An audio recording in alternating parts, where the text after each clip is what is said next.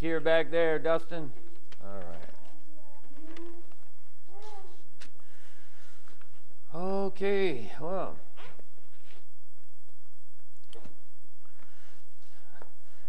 I'm not sure if all of you saw the news yesterday. Um, I caught part of it that uh, the state of Hawaii had quite a shock yesterday, quite a thrill. Uh, as I was picking up bits and pieces of what actually was going on, I guess they went to test one of their kind of used to be like the civil defense preparedness uh, early warning system, and apparently they hadn't been testing it much recently. Uh, that used to be tested quite a bit during the Cold War. Back in the day when we were always kind of in a toe to toe confrontation with the Soviet Union. But after the Soviet Union collapsed and you know all that stuff started to die down, you know, we tended to not worry so much about a a nuclear attack against the United States, which the Soviet Union was very capable of launching. But there weren't too many others in the world that could actually do that. China has up, kind of come up on that, and you know has a lot of intercontinental ballistic missiles, and but you know because of the doctrine of uh, mutual destruction total between the United States and the Soviet Union, mutual assured destruction. In other words, if they pushed their button and we pushed our button, man, it was over.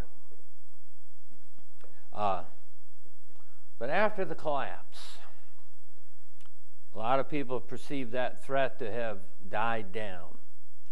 And so there's been some effort in reducing those things. Well, then you got North Korea up and coming. Up and coming. So somebody thought maybe we need to be testing the old alarm system on test. On test. And they pushed the wrong button. So everybody in Hawaii got the message there is an incoming ballistic missile. This is no drill. Now, unfortunately for those folks, because of where they just so happen to be located in the Pacific Ocean, they get 20 minutes of warning. 20 minutes to have your life flashing before your eyeballs. And it was Panic City, as you would imagine, in Hawaii. And it took the people that were supposed to be trying to deal with this thing 38 minutes to get the basic all clear, false alarm, go back to doing what you're doing. Sure. 38 minutes, they thought they were going to die. You know, I don't know how much people pay attention, you know, really to try to understand the power of nuclear weapons and why it's a big deal. We've kind of really perfected them and refined them. We can actually fire nukes out of an artillery piece. A lot of people don't know that. We're on our submarines, we have them on aircraft, and we have them in silos in the ground. We got all kinds of stuff. the nukes we dropped on Japan back in World War II were in the kiloton range. They were firecrackers. And I, it's been a long time since I read about that stuff, but it was like hot as the surface of the sun, man. We're talking about winds going out of ground zero at over 900 miles an hour. I mean, people disappeared. Their shadows were burned in bridges. Those are some pretty famous pictures. People were just vaporized, gone at ground zero. But the destruction goes way out. Back in the day when I was working up to the Federal Center, we used to have war games. Used to be two a year. One was nuclear, one was conventional. And for the nuclear ones, I was the damage assessment, bomb damage assessment officer, and I was given all kinds of information. Some of it was classified secret, so if I told you, I'd have to kill you. I've forgotten half of what I knew about some of that stuff. But the, the, the stuff that ain't classified, the bomb damage from a nuke. See, they, they would, uh, in the war game, they would identify certain U.S. installations, military bases that were hit. They'd give me the specifics, whether it was, you know, it was a nuclear weapon, ground burst, air burst, and the, and the megaton range of the bomb, and the distance bomb was ground zero from the base. And then we had the, I had these booklets that gave me all the information about the base, whether the buildings were primarily reinforced concrete or wooden structures. Kind of interesting. This would mean nothing to you, but at, at, Pendleton, a lot of the buildings there at Pendleton years ago were mostly wood frame. The buildings at uh, Camp Lejeune, North Carolina, are heavy because of the hurricanes coming in from the you know the Atlantic. So different structures. So you know a lot of the different military bases have all those different things and how many personnel and what kind of uh, living quarters. So you had these graphs and these formulas that you could tell by the megatonnage whether where the base was from ground zero, air burst, ground burst, and they never blow up on the ground. A ground burst is just below so many thousand feet is considered a ground burst. And under a certain megaton range, one over Battle Creek which is total destruction, fire likely in Lansing. Fire likely. There's rings that go out from these things that tell you about, you know, from the total destruction with no residual capability down to how far the blast. So you figure fire likely in Lansing, Michigan, that's about 45, 50 miles away unbelievable destruction. We got some big ones today, real big ones. Now, I don't know how much the average person in Hawaii realizes all that stuff, but for people in the know, that's a real serious thought. You know, Hawaii ain't all that big. And if you got a nuke coming, it ain't going to be good. And where are you going to hide? what I did hear a little bit on the news, because it's probably more information today as it's all pouring in from people.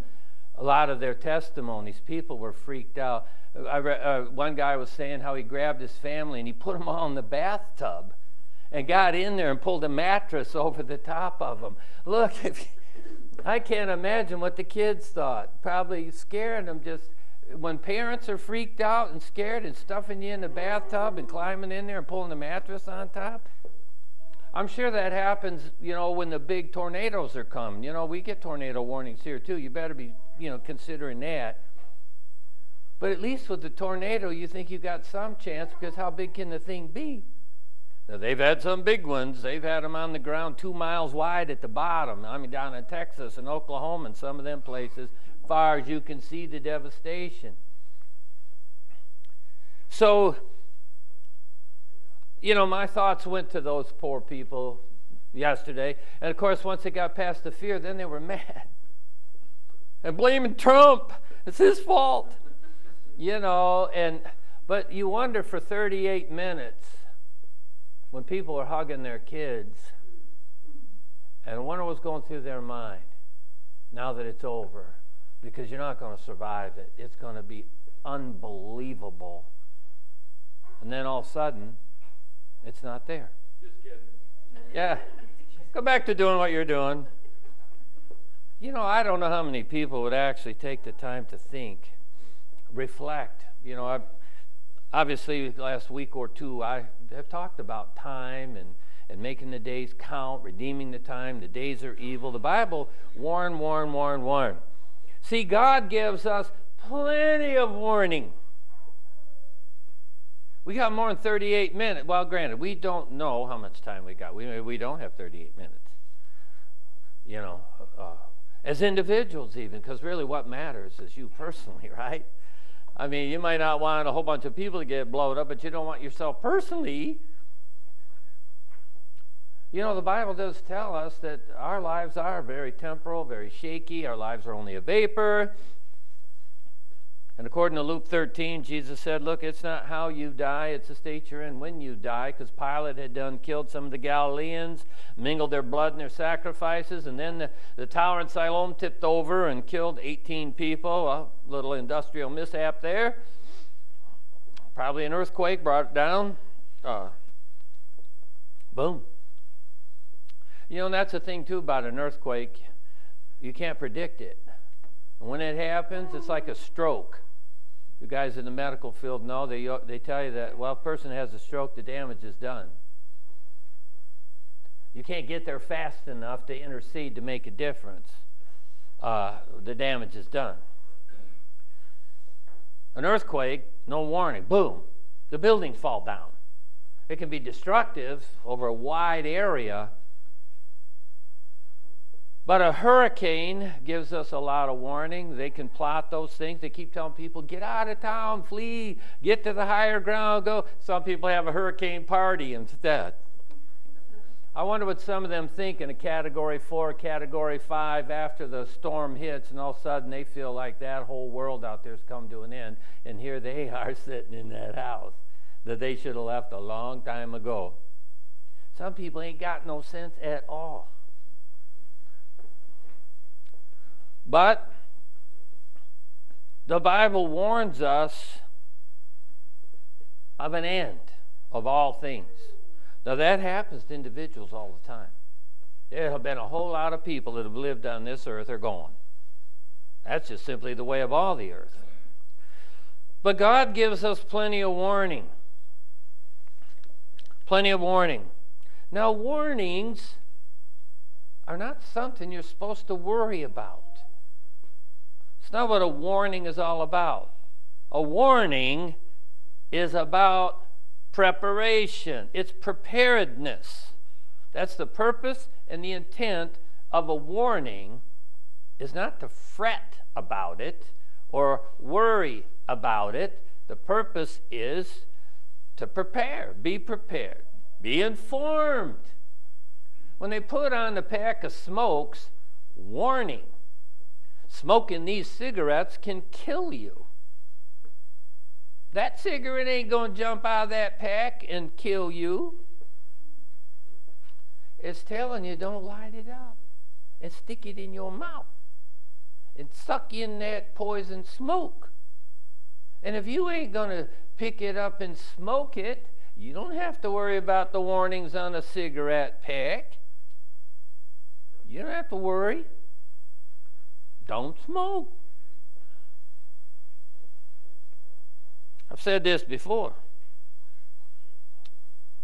In the immortal words of the wise sage, Mr. Miyagi, best way avoid punch, not be there. Don't want to die in Detroit? Don't go to Detroit. You can't die in Detroit if you don't go to Detroit. Don't smoke. Don't have to worry about cigarettes killing you. Something's going to kill you. But you don't have to worry about cigarettes. So being warned is the purpose is preparedness. When God warns in the Bible, he, he's not trying to scare people. Now, if you choose to uh, ignore the warning, you better be scared. Because he's not kidding. A lot of people don't, they choose not to heed warnings. Just ignore it. For various reasons. We don't pay any attention to the warnings. Now, obviously, the people in Hawaii would had no way to prepare for a nuclear blast. But if they were terrorized by it, I can submit to you that it's because they were not prepared to die. There ain't nothing you're going to do about the nuke. There ain't nothing you're going to do about not dying. You're going to die. That's the way of all the earth. But what we see in the Bible, there were many of the biblical greats, the Bible greats, that did not fear death. Why? Because they was prepared for it. What is preparation? Well, it's information. You take in information, you assimilate the information, make decisions based on information. Full of choices there. We get to make choices. So, when the warning is given, we look at what the warning consists of, we look at that information, and we make the application to our own lives to be prepared. You know, uh, when the roads are bad, you slow down. You know, that's a choice. Some people don't. They end up upside down the ditch. You maybe put a seatbelt down. Look, you can do a lot of things to be more to be prepared, to be careful, to be cautious, but yet stuff can still happen. The other guy ain't paying attention. You're doing everything you're supposed to. You're not texting and driving. You're slowing down. You come up. You've got the right of way as you approach the intersection. And here comes somebody blazing through the intersection. Not paying attention. Boom, things happen. That's why it's just best to be prepared to die. To be prepared to leave this place, to go on to your next life. Then you don't have to worry about nothing. Don't have to worry about anything. Ain't no reason to worry. Don't worry unless you're not prepared. Now, the day is coming. That's what the scripture says. The day is coming. You know, I personally believe I'm sure you do too, it's pretty evident in the scripture, the reason why there's no security here for anybody is because God wants people, in a sense, to be a little bit uncomfortable so they can do something about it. We're, we're creatures of comfort. We like to be comfortable. We pursue pleasure and we avoid pain. That's just us naturally. And when we're warned about something that could come, it's because it's telling you there's some uncomfortable stuff coming here. Are you ready? So we want to be prepared because we want to minimize our discomfort. If you think about it. You know, I always throw a heavier winter coat in my car when it's really cold. I don't wear it all the time. It's in my inside my, my car, my trunk. Why? Well, just in case I end up stuck on the side of the road for whatever reason, or I got to get out and help somebody. I don't want to be too cold and freezing my butt off out there. So I got a parka in the bag. That's all. I'm just prepared. I got a first aid kit in my car. Not so much for myself, but in case I have to help somebody else. I want to be a little bit prepared because I'd feel really bad if I was standing right there and I couldn't just help somebody with a simple control of bleeding or something without having to give them my shirt and a freezing cold. a little preparedness, that's all. So God wants us to not be able to trust in nothing here except Him. Ultimately, if you absolutely trust in God and He's got you covered, you don't have to think or worry about nothing. Because it ain't going to matter. Finally, we'll leave this place, and all the worry would have been for nothing. So, don't worry. Be happy. You knew that was coming. In Jeremiah, we'll go through this. Uh, you know, this is just a great Old Testament prophet. First off, the word of the Lord, uh, uh Jeremiah 11 and 1, the word of the Lord that came to Jeremiah said, Hear the words of this covenant and speak to the men of Judah and to the inhabitants of Jerusalem. Now, let me, I guess, give you a little bit of heads up here. Jeremiah is a tremendous prophet. Now, he's warning God's people, and we'll see the, the passage in a second, for a long time, warning them. First off, God wants to bless you, but he said, but again, but if you don't want to pay attention to that, then bad stuff is coming. So, warning, heed the warning. So Jeremiah is one of those great prophets to warn, but the people don't pay no attention to him, so disaster does come. Hear the words of the covenant, speak to the men of Judah and to the inhabitants of Jerusalem. Say to them, Thus saith the Lord God of Israel Cursed is the man who does not obey the words of the covenant, which I commanded your fathers in the day I brought them out of the land of Egypt from the iron furnace, saying, Obey my voice and do according to all that I command you so that you shall be my people, I will be your God, that I may establish the oath which I've sworn to your fathers to give them a land flowing with milk and honey as it is this day. And I answered and said, So be it, Lord.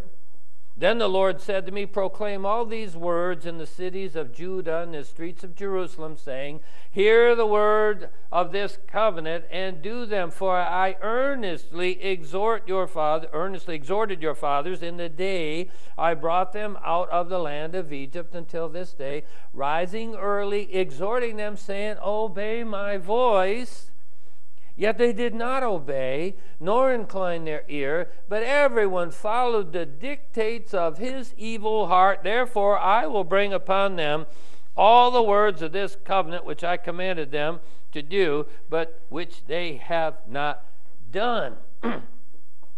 God said, When I brought you out way back then, I intended to bless you. You would be my people, I would be your God. I'd be taking you right into this land flowing with milk and honey, but you have not. He said, I've sent prophets to you, but you didn't obey or incline your ear, and everyone just did their own thing, following the evil dictates of their own hearts. Now, there's disaster coming. Now, if you go to Jeremiah 25, Verse 1 The word that came to Jeremiah concerning the people of Judah, and you know, this is about God's people. These are just not Gentile nations that didn't know God. These are his people. always emphasize that. In the fourth year of Jehoiakim, the son of Josiah, the king of Judah, which was the first year of Nebuchadnezzar, the king of Babylon, which Jeremiah the prophet spoke to all the people of Judah and to all the inhabitants of Jerusalem, saying, Here he's telling them, look, he said, from the 13th year of Josiah, son of Amon, king of Judah, even to this day, which is the 23rd year in which the word of the Lord has come to me, and I have spoken to you, rising early and speaking, but you have not listened. And the Lord has sent to you all his servants, the prophets, rising early, sending them, but you have not listened nor inclined your ear. They said, Repent now, everyone, of this evil way and of his evil doings, and dwell in the land which the Lord has given you and your fathers forever and ever. Don't go after the other gods to serve them and to worship them, and do not provoke me to anger with the works of your hands, and I will not harm you. Yet you have not listened to me, saith the Lord that you might provoke me to anger with the works of your hands to your own hurt. Therefore, thus saith the Lord of hosts, because you have not heard my words, behold, I will send and take all the families of the north, saith the Lord, Nebuchadnezzar, king of Babylon, my servant, and will bring them against this land, against its inhabitants, against these nations all around, and I will utterly destroy them and make them an astonishment, a hissing, and a perpetual desolations. Moreover, I will take from them the voice of mirth, the voice of gladness, the voice of the bridegroom, the voice of the bride, the sound of the millstones, the light of the lamp. And this whole land shall be a desolation and an astonishment, and these nations shall serve the king of Babylon 70 years. 70 years. Captivity. You know, it's like a new kit, that place, when you go back and read it. I mean, they literally tore it down with their hands, the Babylonians, flattened Jerusalem and the temple, and killed the people with the sword and took the remnant captive into Babylon. Warned them. Jeremiah said, I've been warning you for 23 years Of course, their response was, uh, let me see, I think number, uh, sorry, Jeremiah 26 here. Uh, Jeremiah 26, let me see here, 7 through 11. So the priests and the prophets and the people heard Jeremiah speaking these words in the house of the Lord. And it happened when Jeremiah had made an end of speaking all that the Lord had commanded him to speak to all the people, that the priests and the prophets and the people seized him, saying, You're going to die. They're going to kill him. He didn't like it. This Trump's fault. Now, I'm not talking politically, I'm talking matter of factly. If you think about it for a minute. They're blaming the guy that's trying to warn them here. You know, if there's a nuke coming from North Korea, did it ever occur to you that maybe the guy over there might have a little bit of responsibility for this at all? A little bit of responsibility? You know, warnings for people we have a responsibility when the warning comes to, to take heed, to decide what we're going to do about it.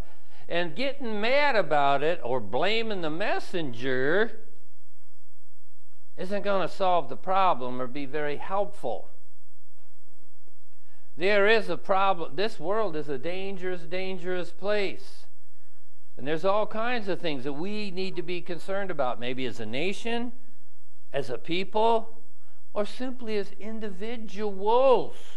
There's, there's certain warnings that pertain to you. Maybe you've been to the doctor lately, and the doctor tells you that you have high blood pressure and you need to pay attention to what you're eating or he prescribes a medicine for you he didn't prescribe it for me and he warns you if you don't get that blood pressure down, you could have a stroke.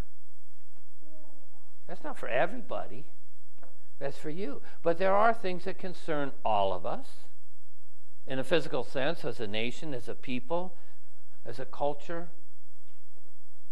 and us as individuals. But spiritually, spiritually, that affects everybody in the whole world in the whole world.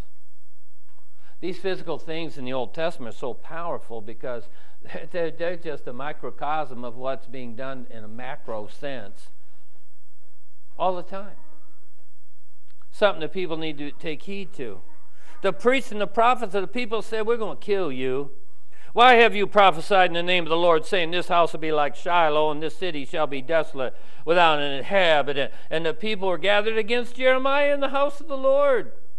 When the princes of Judah heard these things, they came up from the king's house to the house of the Lord, sat down the entry of the new gate of the Lord's house. The priest, the prophet, spoke to the princes and all the people, saying, This man deserves to die, this Jeremiah guy, for he has prophesied against this city, as you have heard with your ears. They didn't like it. God's people, the princes, the prophet. The, let's kill them. Anyway, they go into captivity. Babylon shows up, just like he said they would.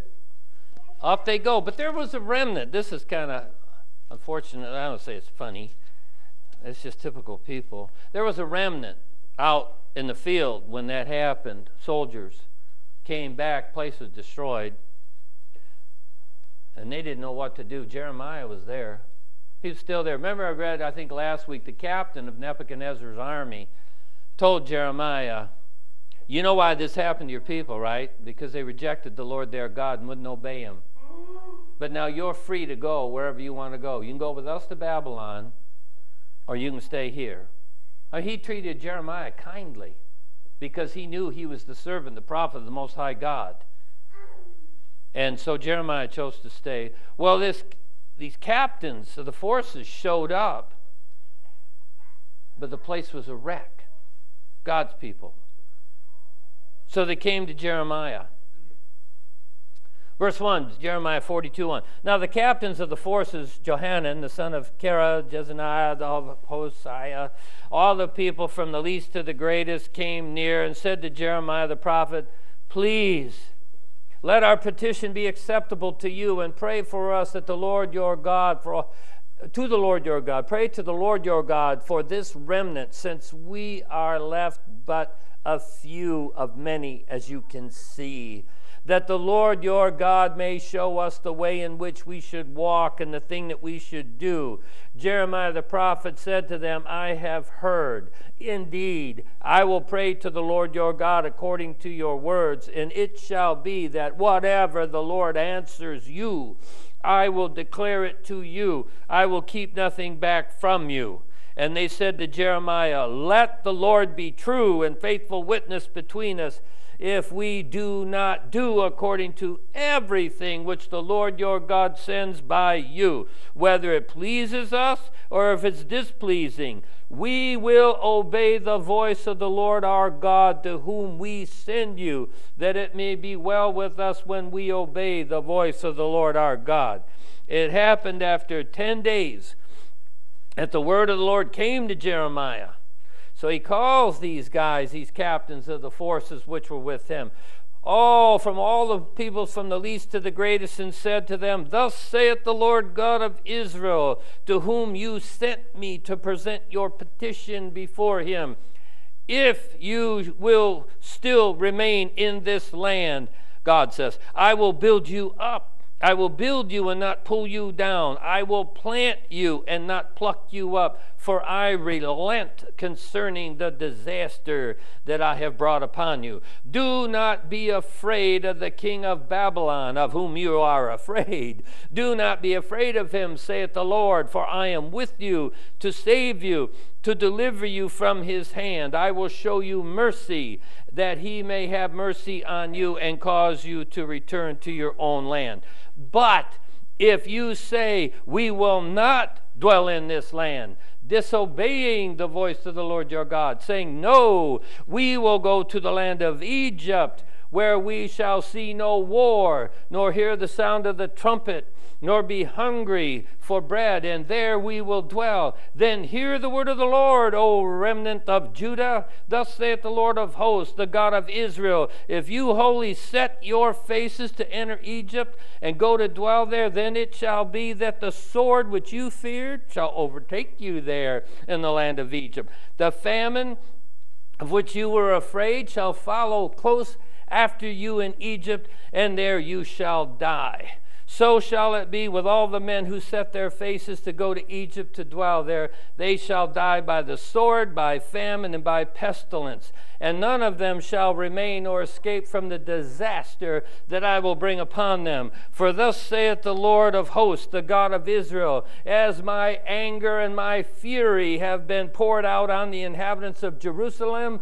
so will my fury be poured out on you when you enter Egypt, and you shall be an oath and an astonishment, a curse and a reproach, and you shall see this place no more the Lord has said concerning you, O remnant of Judah, do not go to Egypt. Now, know certainly that I have admonished you this day, for you were hypocrites in your hearts when you sent me to the Lord your God, saying, Pray for us for the Lord our God, and according to all that the Lord your God says, so declare to us, and we will do it. And I have this day declared it to you, but you have not obeyed the voice of the Lord your God, or anything which he has sent to you by me. Now therefore know certainly that you shall die by the sword, by famine, and by pestilence in the place where you desired to go to dwell. This is funny. Now, it happened when Jeremiah had stopped speaking to all the people the words of the Lord their God, for which the Lord their God had sent him to them with all these words, that all these guys come up to Jeremiah in verse 2, and these proud men spoke to Jeremiah and said, You're lying. I think that's why the New International, you know, in mine it says, you speak falsely. But I think the NIV said, you're lying. You're lying. Sound like kids. You're lying. Dad didn't want me to do that. Or, You speak falsely. The Lord our God hasn't sent you to say, don't go to Egypt to dwell there. But Baruch, the son of Neriah, who has set you against us to deliver us into the hand of the Chaldeans, the Babylonians, that they may put us to death or carry us away captive to Babylon. So these guys said, We ain't going. So verse 7 says, So they went to the land of Egypt, for they did not obey the voice of the Lord, and they went as far as Tahpanhes. They went to Egypt. They came to Jeremiah after the disaster of the destruction of Jerusalem and the place was a wreck. And they come to Jeremiah and they go, What are we going to do? Look, will you please go to God for us and find out exactly what He wants us to do and whether it pleases us or, or even if it's displeasing, no matter what, we'll do it. He said, Okay. I'll go check with God. I'll get back with you. 10 days later, okay, I got the, the information for you that you sent me to go get for you.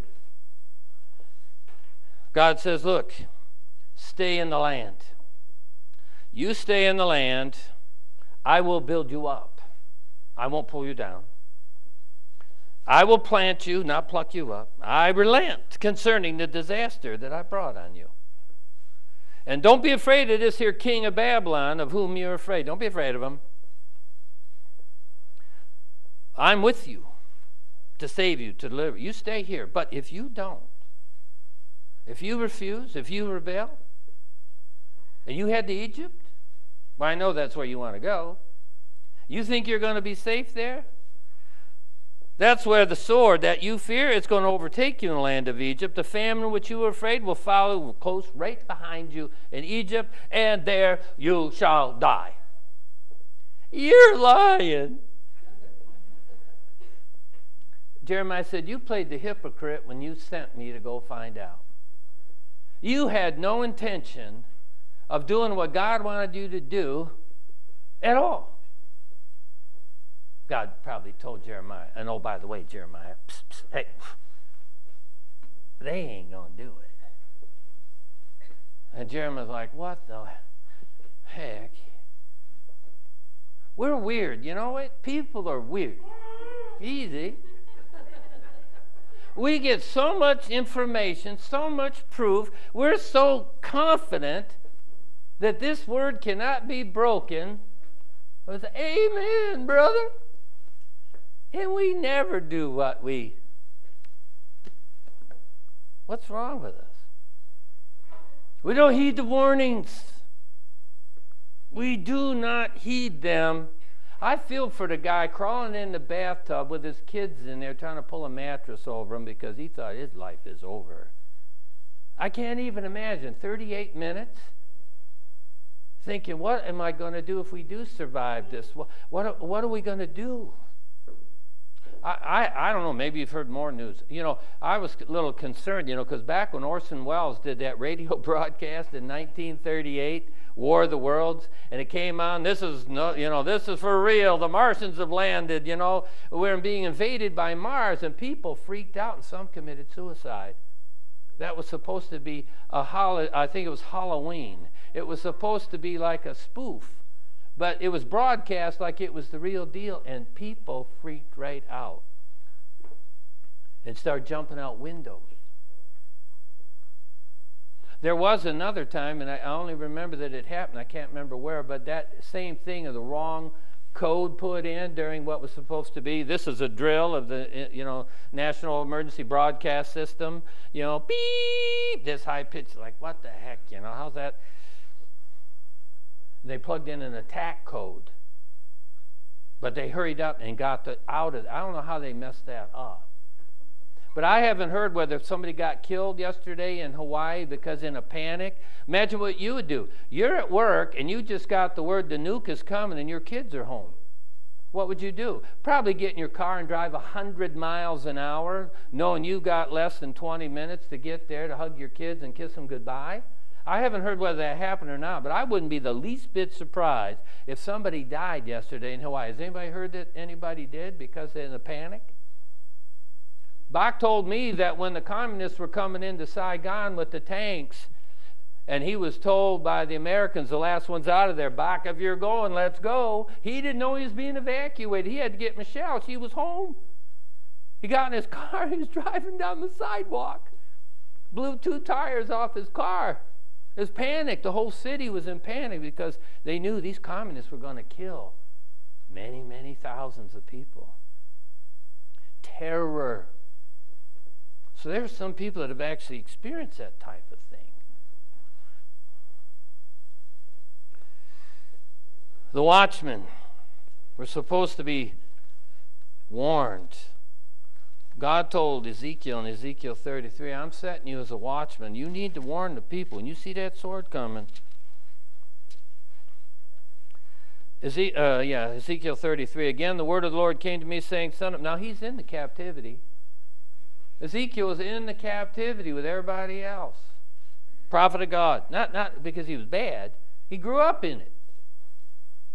Son of man, speak to the children of your people and say to them, When I bring a sword on the land, and the people of the land take a man from their territory, and they make him their watchman, when he sees the sword coming on the land, if he blowed the trumpet and warned the people, then whoever hears the sound of the trumpet and does not take warning, if the sword come and take him away, his blood shall be on his own head.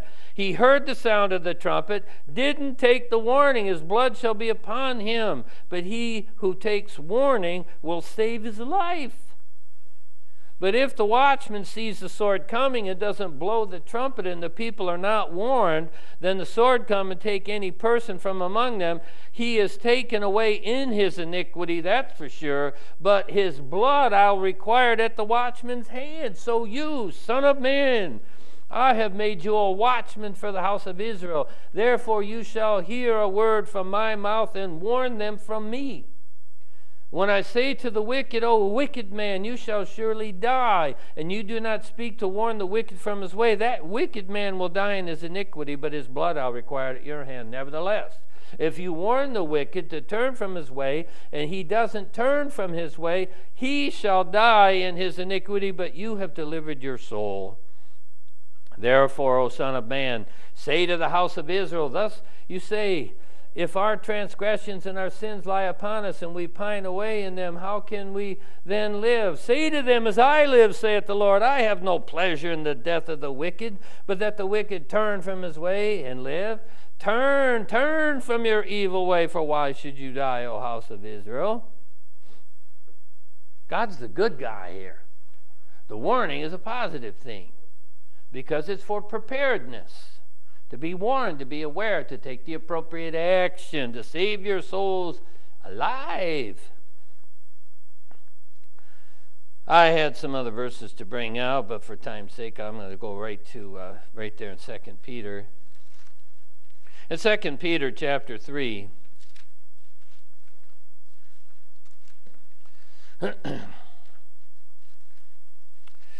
Second Peter chapter three.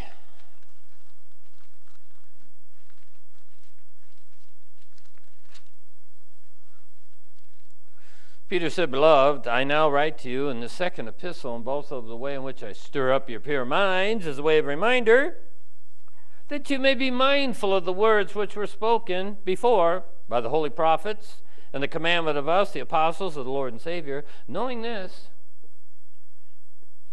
that scoffers are going to come in the last days. You know, the Bible says these are the last days. In fact, I didn't give it to you, but I'll just give it to you. It's uh, First Peter four and seven. Don't go there. But at the end of all things, Peter says at hand. Therefore, be serious and watchful in your prayers. The end of all things at hand. Knowing this first, that scoffers will come in the last day, walking according to their own lust, saying, Where is the promise of his coming? For since the fathers fell asleep, all things continue as they were from the beginning of creation. For this, Peter said, there they willfully forget that by the word of God the heavens were of old, the earth standing out of the water and in the water, by which that by which the world that then existed perished, being flooded with water.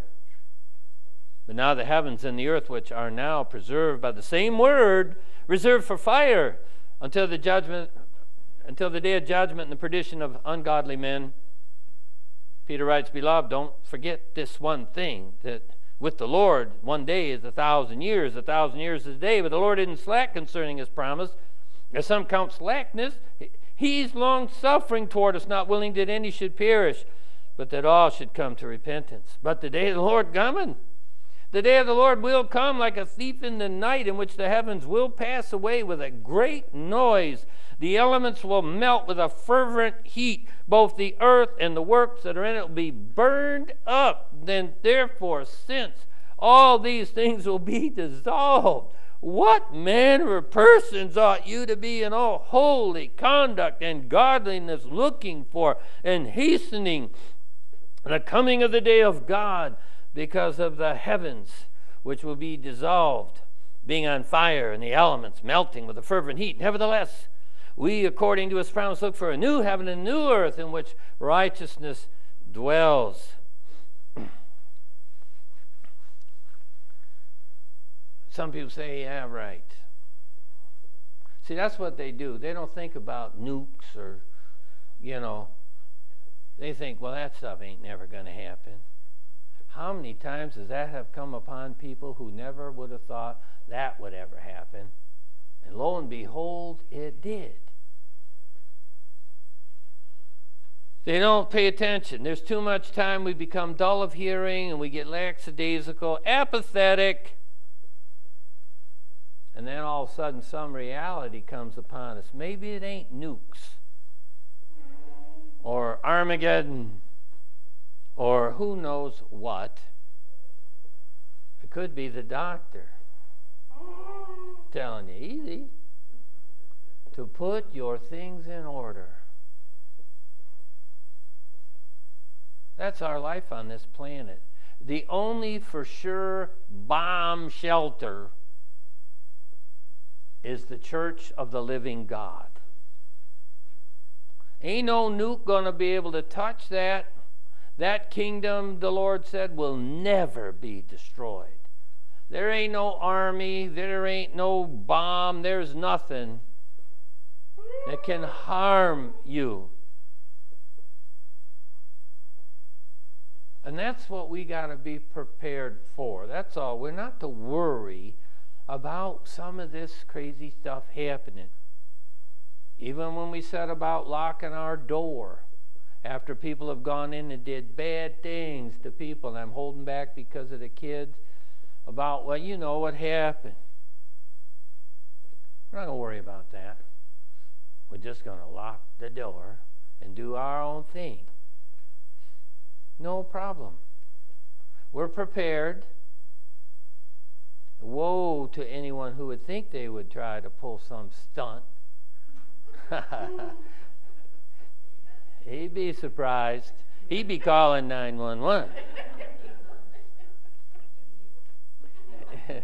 if he's able. But you get my point. We don't have to worry about any of these things. And I feel sorry for people that were momentarily absolutely terrorized by what they thought was going to happen. And maybe that was just a great time to have that maybe little mishap because it put a whole lot of people thinking, especially the people in the emergency preparedness, to make sure they are prepared to get good, adequate warning to people that need it for what good it would do them. And to not have mistakes in the future. You know, we all need to be a bit prepared. So that's just to be encouraging for us today uh, brethren, because that day of the Lord will come, and we just need to be prepared. Not only prepared, but hasten it by our holy conversation and godliness. To say, as the end of the Bible actually says, with all that spooky stuff that's happening in Re- Revelation, with all the purple people eaters and all kinds of stuff happening, he who testifies to these things says, Surely I'm coming quickly. Amen. We Even so, come, Lord Jesus. We want him to come because we're ready. We are prepared. Thank you for your attention this morning.